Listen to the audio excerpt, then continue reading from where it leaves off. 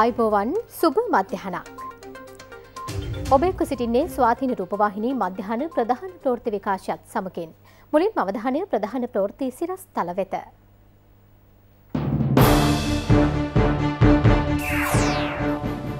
මන්ත්‍රී හකීමුත් පොසිටිව් වෙද්දී ඇමති දයාසිරිට රිටිගල ඖෂධය.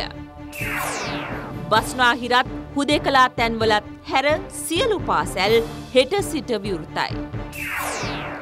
මහර කැරැල්ල ගැන රැඳවියන් දෙසියකගෙන් තවමත් ප්‍රශ්න කිරී. කැල්සියම් කාබනේට් අපේම රටේ හදන්න සූදානමක්. ජකට්තා හසේදී අතුරුදන් වූ ගුවන්යානයේ මකින්ගේ ශරීර කොටසුත් සුන්බුණුත් මුහුදු පතුලෙන් හමුවේ.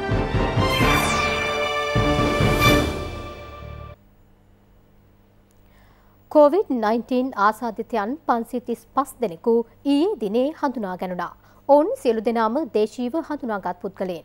ශ්‍රී ලංකා මුස්ලිම් කොංග්‍රසයේ නායක පාර්ලිමේන්තු මන්ත්‍රී රව් ෆකීම් මහතා සිය ට්වීටර් ගිණුමේ සටහනක් තබමින් තමන්ටද කොරෝනා ආසාදනය වී ඇති බව සඳහන් කර තිබෙනවා.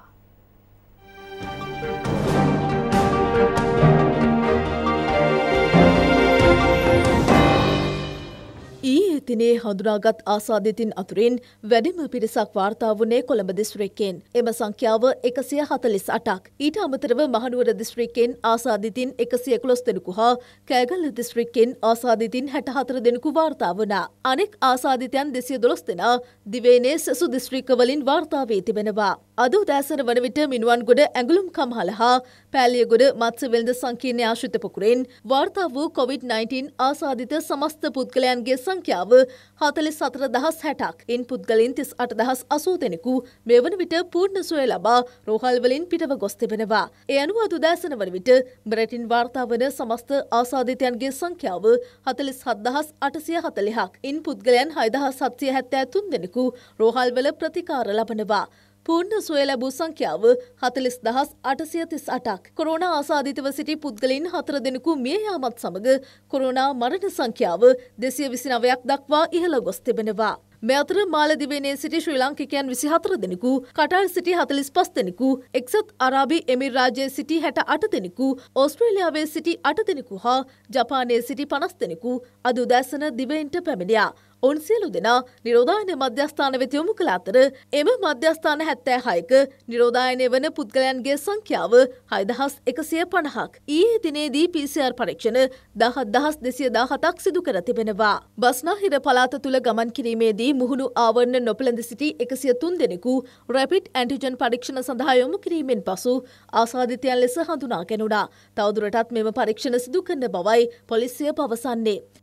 බස්නාහිර පලාත තුළ ඊයේ දිනේදී මුහුණු ආවරණ නොපළඳින ලද පුද්ගලයින් පිළිබඳව විශේෂ මෙහෙයුම ක්‍රියාත්මක වුණා. පුද්ගලයින් 166 දෙනෙක් සම්බන්ධයෙන් මේ මෙහෙයුම ක්‍රියාත්මක කරනු ලැබුවා. මෙහිදී විශේෂයෙන්ම 103 දෙනෙක් රැපිඩ් ඇන්ටිජන් පරීක්ෂාවටත් ඒ වගේම 63 දෙනෙක් PCR පරීක්ෂණ වලටත් යොමු කළා. කෙසේ වෙතත් මේ 166 දෙනාගෙන් එක් පුද්ගලයෙකු වත් කොවිඩ් ආසාදිතින් බවට වාර්තා වුණේ නැහැ. එය හොඳ ප්‍රවණතාවයක් හැටියට අපි දකිනවා. කෙසේ වෙතත් ජනවාරි 5 වෙනිදා සිට මේ දක්වා දින පහකට ආසන්න කාලය තුළ බස්නාහිර පළාත පුරාම මුහුණු ආවරණ නොපැළඳි පුද්ගලයින් දෙදස් එකසිය අනු එකක් සම්බන්ධයෙන් ක්‍රියා කර තිබෙනවා. ඒ අය PCR පරීක්ෂණ සහ රැපිඩ් ඇන්ටිජන් පරීක්ෂණ වලින් 24 දෙනෙක් කොවිඩ් ආසාදිතයින් බවට හඳුනාගෙන තියෙනවා. මීට අමතරව පසුගිය පැය 24ක කාලය තුල බස්නාහිර පළාතෙන් පිටත සිදු කර විමර්ශනවල ප්‍රතිඵලයක් හැටියට පසුගිය පැය 24ක කාලය තුල පුද්ගලයන් 20 දෙනෙක් පමණ මුහුණු ආවරණ නොපැළඳීම සම්බන්ධයෙන් සම්බන්ධයෙන් අත්අඩංගුවට ගෙන තියෙනවා. ඒ අනුව ඔක්තෝබර් 20 වෙනිදා සිට මේ දක්වා කාලය තුල අත්අඩංගුවටගත් මුළු සංඛ්‍යාව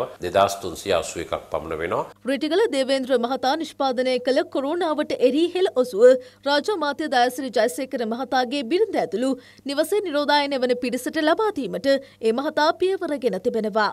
දාසිරි ජයසේකර අමාත්‍යතුමාට කොවිඩ් වෛරසය ආසාදනය වෙනකොට මම සඳහන් කර තිබුණා දින 3ක් ඇතුළත එතුමාව නිරෝගිමත් කරන බව. නිවසේ තුල නිරෝධායන වෙමින් සිටින එතුමාගේ බිරිඳට අපි බෙහෙත් ලබා දෙනවා. එතුමාගේ බිරිඳ පොරොන්දුනා බෙහෙත ගරු අමාත්‍යතුමා වෙත ලබා දෙන බවට මම එතුමාගෙන් ඉල්ලනවා මේ බෙහෙත පාවිච්චි කළා දින 3ක් ඇතුළත. ගරු අමාත්‍යතුමාගේ වෛද්‍ය වාර්තාව මේ රට ඉන්න සියලු දෙනා ඉදිරියේ පෙන්නලා මාධ්‍යමකින් පෙන්눔 කළා. මෙහෙළ වේද ශාස්ත්‍රය සම්බන්ධව ඉන් එහාට වැඩ කටයුතු කරගෙන යන්න මම කැමැත්ත ප්‍රකාශ කරනවා. ශ්‍රී ලංකා මුස්ලිම් කොංග්‍රසයේ නායක පාර්ලිමේන්තු මන්ත්‍රී රවුෆ් හකිම් මහතා ට්විටර් ගිණීමේ සටහනක් තබමින් තමාට කොරෝනා ආසාදනය වී ඇති බව සඳහන් කර තිබෙනවා. තමන් සමග මීට දින 10කට පෙර සමීපව ඇසුරු කළ පුද්ගලයින් සෞඛ්‍ය උපදෙස්වලට අනුව නිරෝධායනය වන ලෙසයි මන්ත්‍රීවරයා ඉල්ලීමක් කර තිබෙන්නේ.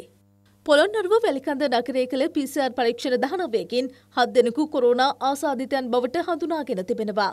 ඔවුන් ප්‍රතිකාර මධ්‍යස්ථාන වෙත යොමු කර ඇති අතර කදුරුවෙල්ල උතුර තඹාල පටනුගම මුස්ලිම් කොලනිය සුංගාවිල අක්කර පන්සිය හා සෙවන පිට යන ප්‍රදේශවල කොරුණා පැතිරීමේ අවධානමක් ඇති බව මහජන සෞඛ්‍ය පරීක්ෂකවරුන් පවසනවා.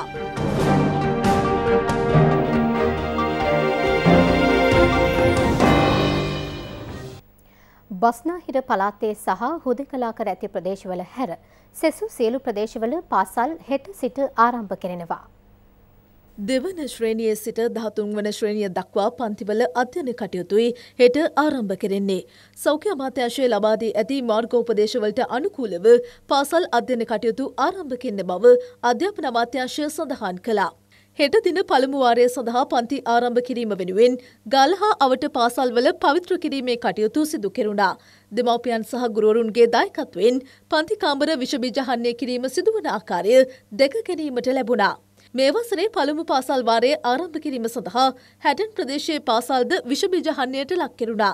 ඒ හැටන් දික්කුවේ නගර සභාවේ දායකත්වයේද ඇතිවයි.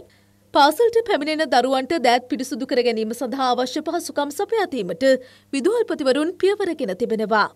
වෞඩියාව නගරේ පාසල් හතක් හෙට දිනේ ආරම්භ නොකිරීමට කටයුතු ද ඇති බව අප වාර්තාකරුවන් සඳහන් කළා. වෞනියාව නගරේ සහ පට්ටා නිචුල් ප්‍රදේශයෙන් කොරුණා ආසාධිතයන් හැට දෙදෙනෙකු හමුවීමත් සමඟ මෙම පාසල් හත වසා දැමීමට තීරණය කෙරුණා. කෙසේ වෙතත් සෙසුස්ථානවල පාසල් ආරම්භ කිරීමටයි කටයුතු යොදා ඇත්තේ. පාසල් විවෘත කිරීම සම්බන්ධයෙන් ලංකා ගුරු සංගමේ ලේකම් ජෝසප් ස්ටාලින් මහතා දැක්වුවේ මෙවන් අදහසක්. පාසල් විවෘත කරන කොවිඩ් වසංගත තත්ත්වය තුළ නිවැරදි ඇගීමක් කරලා විධිමත් ආරක්ෂණ ක්‍රියාවලියක් සහිතව සැලසුම් සාගතව මේ ක්‍රියාවලිය කරන්න ඕනේ. ඒ වගේම අපි දිගින් දිගටම කියනවා මේ ළමයි කොවිඩ් ආසාදිත බවට පත් නොවෙන්න වගකීමක් වගකීමක් යට ගන්න ඕනේ අධ්‍යාපන අමාත්‍යාංශය. මොකද විශේෂයෙන් අපි දන්නවා ප්‍රවාහණය. මේ ප්‍රවාහණයේදී විශේෂයෙන්ම අපි පැහැදිලිවම ළමයි බස්වල අපි දන්නවා විශාල ප්‍රමාණයක් එන්නේ. මොකද ඒ වගේම වෑන් පාසල් වෑන් රථ නගරාශ්‍රිතව පාසල් වෑන් රථ තියෙන්නේ. ඉතින් මේවා වල එන එක ගැන නිර්ණායක දීලා තියෙන අධ්‍යාපන අමාත්‍යාංශය නිර්ණායක නායක අනුගමනය කිරීමේදී ප්‍රවාණ මාධ්‍ය වැඩි කරන්න වෙනවා. ඉතින් ඒකට අදාළ ක්‍රියාමාර්ගයක් අපි දන්න විදිහට අධ්‍යාපන අමාත්‍යාංශය හදලා නැහැ. ඒක නිසා අපි අධ්‍යාපන අමාත්‍යාංශයෙන් ඉල්ලීමක් කරනවා එවැනි ක්‍රියාකාරීත්වයන් හදන්න කියලා. නැත්නම් එහෙම නැතුනොත් පාසල් පවත්වාගෙන යන්න බැරි වෙයි. පාසල් දරුවන් ප්‍රවාහනය කරන වාහන සෞඛ්‍ය නීතිරීති නිසි පරිදි පිළිපදින්නේ ද යන්න පිළිබඳ නිරන්තරයෙන් අවධානයෙන් කටයුතු කරන බව පොලිස් මාධ්‍ය ප්‍රකාශක නියෝජ්‍ය පොලිස්පති අජිත් රෝහණ මහතා සඳහන් කළා. පාසල් බස් රථ පොදු ප්‍රවාහන සේවා ළමුන් ප්‍රවාහනය කරන අනිකුත් ප්‍රවාහන සේවාවලදී වෑන් රථ සෞඛ්‍ය සිරිත් අනුගමනය කරන්න නිරන්තරයෙන් දරුවන්ට මුඛාවරණ ගලවන්නට දෙන්නට එපා. රියදුරන් කොන්දස්තරවරුන් ඒ වගේම පාසල් ප්‍රවාහන සේවාවල සහායකින් රියදුරන් මේ ගැන අවධානය යොමු කළ යුතුයි. ඒ වගේම රථවාහනාංශවල පොලිස් නිලධාරීන්ට අපි උපදෙස් ලබා දී තිබෙනවා. නිරන්තරයෙන් මෙම පාසල් බස් රථ, වෑන් රථ, පාසල් ළමුන් ප්‍රවාහනය කරන අනිකුත් පොදු ප්‍රවාහන සේවා නිරන්තර පරීක්ෂාවට ලක් කරන ලෙසට ඒ නිසා විශේෂයෙන්ම රියදුරන් සහායකින් මේ ගැන වැඩි අවධානයක් යොමු කර කටයුතු කරනු ඇතයි අපි අපේක්ෂා කරනවා. මහර බන්ධනාගාර සිද්ධිය සම්බන්ධයෙන් රැඳවුවන් දෙසියක පමණ පිරිසකගේ තවදුරටත් පරීක්ෂණ සිදු කරන බව ඒ පිළිබඳ පත් කළ පංච පුද්ගල කමිටුවේ සමාජික අධිකරණ අමාත්‍යංශයේ ජ්‍යෙෂ්ඨ උපදේශක ජනාධිපති නීතිඥ යූ.ආර්.ද සිල්වා මහතා පවසනවා. අප විසින් ඒ අදාළ වාර්තාව සකස් කරලීමෙන් අනතුරුව පෙනී ගිය දෙයක් තමයි මේ පිළිබඳව වගකිය යුතු අය ගැන අපරාධ පරීක්ෂණ දෙපාර්තමේන්තුව විසින් ලබා ගන්නා ලද සියලුම තොරතුරු පරීක්ෂා කර බැලීමෙන් පසුව තමයි නීතිපතිතුමා තීරණය කළ යුතු වන්නේ කුමන රැඳවියන්ට එරෙහිවද කටයුතු කරන්න කියලා. මේ වන විට දෙසියක පමණ පිරිසක් ඒ පිළිබඳව සැකපිට රඳවා තබාගෙන ඉන්නවා. ඒ කරනු ලබන්නේ නීතිපතිතුමා විසින් කර කරනු ලබන අපරාධ පරීක්ෂණ සම්බන්ධව නෙමෙයි. බන්ධනාගාරයට අයිතියක් තිබෙනවා. බන්ධනාගාරය තුල සිදුවෙච්ච මේ සිද්ධියට අදාළව ඒ පිළිබඳව අදාළ පුද්ගලයින්ට විරුද්ධව ක්‍රියා කිරීමට. තවදුරටත් අදහස් දැක්වූයේ මහතා සඳහන් කළේ බන්ධනාගාරයට ආහාර ගෙන යාම සීමා කර සතුස්ස ශාකාවක් පිහිටුවීම සම්බන්ධයෙන්ද නිර්දේශ ඉදිරිපත් කළ බවයි. බන්ධනාගාර බුද්ධ්‍යංශය වඩාත් හොඳින් ක්‍රියාත්මක කිරීමටත් නිලධාරින්ට වඩාත් හොඳ ආයුධ පුහුණුවක් ලබා දීමටත් කටයුතු කළ යුතු බවයි එමහතා සඳහන් කළේ. බන්ධනාගාර තුළ පිරිස් වැඩවීම පාලනය කිරීම සඳහා මෙන්ම බන්ධනාගාරයට යැවීමට පෙර රැඳවූවන් ප්‍රජා විශෝධන ක්‍රියාවලියට ලක් කිරීමට අධිකරණ ඇමති තීරණය කර ඇති බවද ජනාධිපති නීතිඥ යුආර්ද සිල්වා මහතා වැඩිදුරටත් ප්‍රකාශ කළා. ඖෂධ නිෂ්පාදනය සඳහා ඉතා වැදගත් වන කැල්සියම් කාබනේට් හෙවත් කැල්සයිට් මෙරටදීම නිෂ්පාදනය කිරීමට සැලසුම් කර ඇති බව පරිසර අමාත්‍යංශය පවසනවා. ඖෂධවලට අමතරව දත් බෙහෙත් ප්ලාස්ටික් තීන්ත පිගන් මැටි රබර් සම්හා රෙදි ආදී විවිධ නිෂ්පාදන සඳහා මෙම රසායනික ද්‍රව්‍ය අවශ්‍ය වන බවයි පරිසර අමාත්‍යංශය නිවේදනය කරන්නේ. බලංගොඩ කල්තොට කැල්සයිට් නිදියේ සම්පත් මේ සඳහා භාවිත කිරීමට අවධානය යොමුව තිබෙනවා. පූර්ණ රාජ්‍ය ආයතනයක් වන භූවිද්‍යා හා පතල් කැනිම් තාක්ෂණික උපදේශන සමාගම වෙත අදාළ පර්යේෂණ කටයුතු බහරදීමටයි රජය සැලසුම් කර ඇත්තේ. ටොන් දෙදහසක පමණ කැල්සයිට් තොගයක් කුඩු බවට හැරවීමේ කර්මාන්ත ශාලාවක් ඇනවීමට නියමිත බව පරිසර අමාත්‍ය මහින්ද අමරවීර මහතා සඳහන් කළා. ඒ සඳහා වැය කෙරෙන මුදල රුපියල් මිලියන 100ක්. පේරාදෙණිය විශ්වවිද්‍යාලය සමග ඒකාබද්ධව මෙම පර්යේෂණ සිදු කිරීමට නියමිතයි. බලංගුඩ කල්තොට කැල්සයිට් නිදිය නිරීක්ෂණ කටයුතු සඳහා අමාත්‍ය මහින්ද අමරවීර මහතා සහ නිලධාරීන් කණ්ඩායමක් ඊයේ පස්වරුවේ එක්ුණා. වාර්ෂිකව කැල්සයිට් ආනායනය කිරීම සඳහා වැය කෙරෙන විශාල විදේශ විනිමයක් රට තුළ ඉතිරි කර ගැනීම සඳහා මෙම ව්‍යාපෘතිය මගින් හැකිවන බවයි අමාත්‍යවරයා මෙහිදී සඳහන් කළේ. අග්‍රාමාත්‍ය මහින්ද රාජපක්ෂ මහතා කසා කළ පුරාණ රජමහා විහාරාධිපති පූජ්‍ය මැල්සිරිපුර විමලරත්න නාහිමියන් බැහැ දැක සුවදුක් විමසුවා.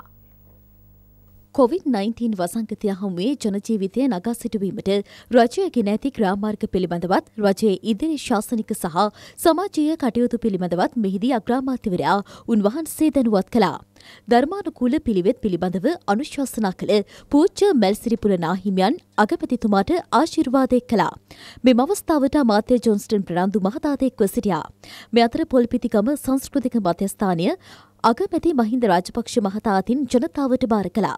බුද්ධ ශාසන අගමික කටයුතු හා සංස්කෘතික කටයුතු අමාත්‍යංශයේ මගනුයි මෙම සංස්කෘතික මධ්‍යස්ථානය ඉදිකර තිබෙන්නේ. රට හදන සෞභාගයේ දැක්ම අනුව යමින් මෙම මධ්‍යස්ථානය ඉදිකෙරුණා. ඒ සඳහා වැය කරපු මුදල රුපියල් මිලියන 25ක් වෙනවා. සංස්කෘතික මධ්‍යස්ථානයට ඕන කරන භාණ්ඩ ආදියත් අගමැතිතුමාගේ ප්‍රධානත්වයෙන් ලබා දුන්නා. මෙම අවස්ථාවට මැති ඇමතිවරුන් වගේම නිලධාරීන් පිරිසක්ද සහභාගී වෙලා හිටියා.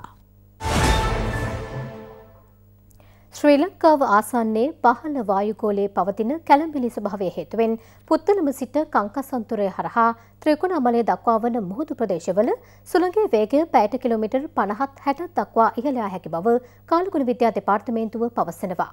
ඒ හේතුවෙන් මුහුදු ප්‍රදේශ රළු වන බවයි එම දෙපාර්තමේන්තුව දැනුම් දෙන්නේ.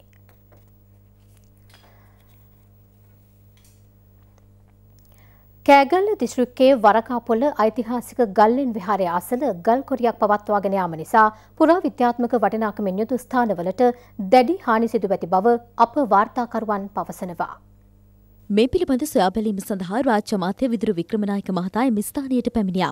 දින තුනක කාලයක් ඇතුළත පුරාවිද්‍යා ස්ථාන පිළිබඳ වාර්තාවක් ලබා දෙන ලෙසයි රාජ්‍ය අමාත්‍යවරයා පුරාවිද්‍යා නිලධාරීන්ට දැනුම් දුන්නේ. පුරාවිද්‍යා වටිනාකමක් ඇති සඳකඩ පහනක් ඇතුළු ස්ථාන කිහිපයකට හානි සිදු වී ඇති බව ගම්වාසීන් පවසනවා.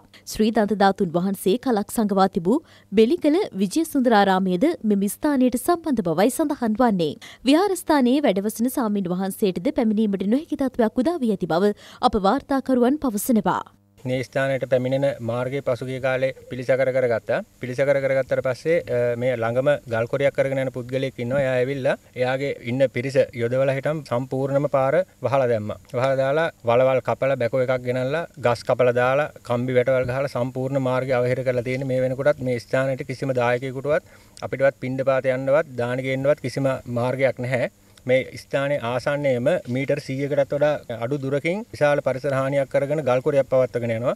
ඒ ගල්කොරියේ හිමිකාරයා තමයි මේ සම්පූර්ණ මේ ස්ථානයේ පිරිහෙන විදිහට වැඩ කරන්නේ. මෙතන ස්වාමීන් වහන්සේලාට ඉන්න දෙන්නේ නැත්තේ. ඒ වගේම මේ බෝර දානකොට මේ වෙනකොට කටාරම පුපුරලා තියෙනවා. ප්‍රාදේශීය ලේකම්තුමා, දිස්ත්‍රික් ලේකම්තුමා, පුරාවිද්‍යා අධ්‍යක්ෂකතුමා, අත්භූ විද්‍යා පතල් කැණීම් ඒකකේ මේ ආදී සියලුම ආයතන දැනුවත් කරලා තියෙනවා.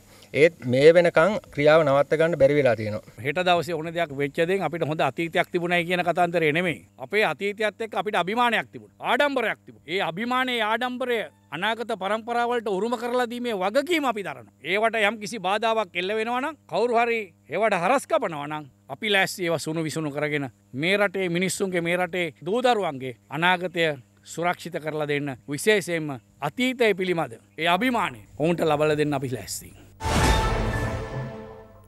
ග්‍රාමීය ආර්ථිකය නගා සිටුවීමේ ජාතික වැඩසටහන යටතේ සංවර්ධන අවශ්‍යතා හඳුනා ගනිමින් විසඳුම් ලබාදීමේ වැඩසටහන් ගණනාවක් දිවයිනේ විවිධ ප්‍රදේශවලදී පැවැත්වුණා.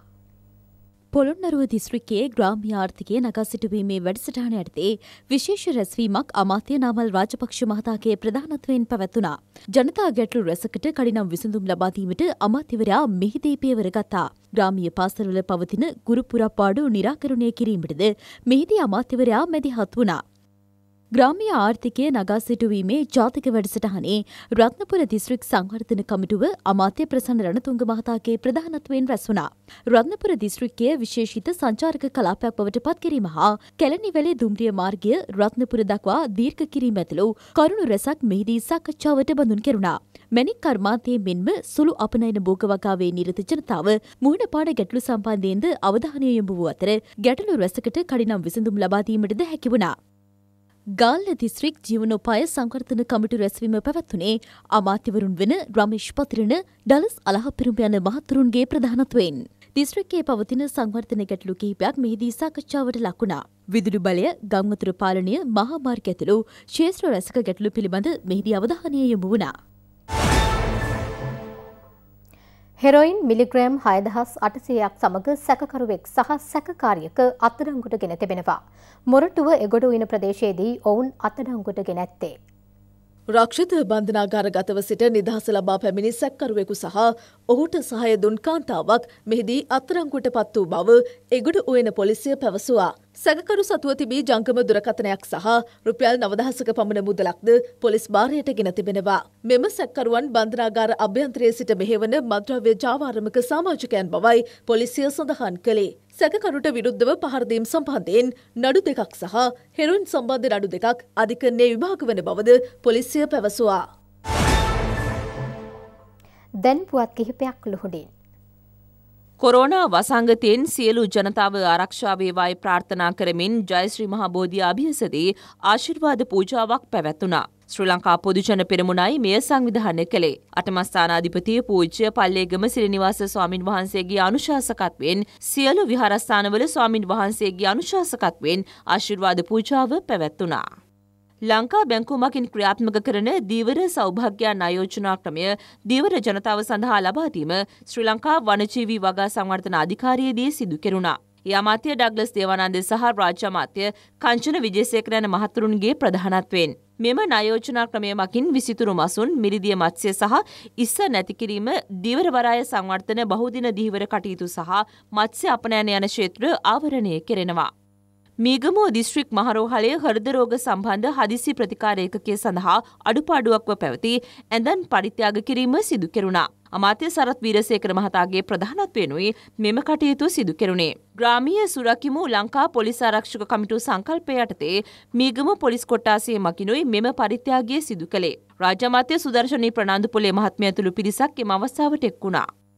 මහනුවර හාරිස්පත්තුව හල්ලලුව රණවිරු මාවත කොංක්‍රීට් අතුරා සංවර්ධනය කර ජනතා අයිතියට පත්කිරීම සිදු කෙරුණා. ඒ පාර්ලිමේන්තු මන්ත්‍රී ගුණතිලක රාජපක්ෂ මහතාගේ ප්‍රධානත්වයෙන්. ව්‍යාපෘතිය සඳහා වැය කෙරෙනු මුදල රුපියල් ලක්ෂ දහයක්. ප්‍රාදේශීය දේශපාලන නායකයන් ඇතුළු පිරිසක් එම අවස්ථාවට එක්ව සිටියා. ඒ සමගින් දිවාපුවත් අදට අවසන්. පසුර එකයි පනස් පහේ සිට අපගේ පැය පැල්පුවත් ප්‍රකාශය බලාපොරොත්තු වන්න. ඔබට සුබ දවසක්.